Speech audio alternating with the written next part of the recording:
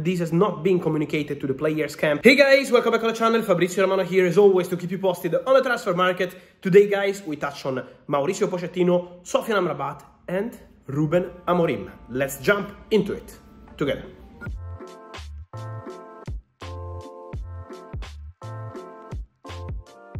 And so guys, let me start with Sofian Amrabat because I see many reports around on the Moroccan midfielder who is part of Manchester United squad on loan from Fiorentina. Manchester United paid a big loan fee, around 10 million euros, and now they have a buy option in the summer for 20 million euros. What Manchester United will do? At the moment, this has not been communicated to the players' camp or anyone at Fiorentina. So I was checking, and Manchester United have not informed both sides about their decision on Amrabat. So it will be made later this year. So it remains open, but also because they paid a big loan fee. So after spending 10 million euros, they have to decide what they want to do with Sofian Amrabat. So the conversation it will be ongoing in the next weeks, but for sure it's an open story.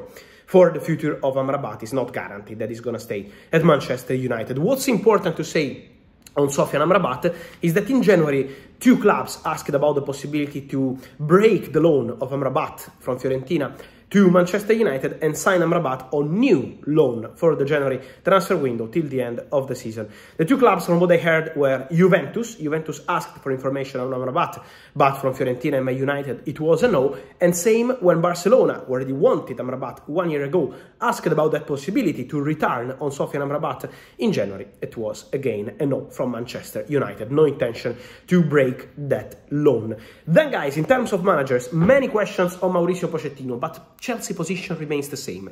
Their priority then we have to see what happens in the next games. Obviously, they want to see uh, positive results. This is very obvious. But in terms of plan for the future, Chelsea want and always wanted to assess the situation at the end of this season. So not changing during the season, but assessing the situation at the end of the season. This has always been the priority of the club. So this remains the plan at Chelsea to decide at the end of the season what's the situation and assess the situation with the manager. So that remains the priority. Then let's see the next games, how it will go. We know the pressure is there since two months ago. Obviously, they want to see the results, they want to see something different altogether, but it's important to say that the priority remains end of the season to discuss the future of Mauricio Pochettino. And also important to say, about managers, keep an eye on Ruben Amorim because Ruben Amorim is appreciated by many clubs in England, especially in England, not only in England, but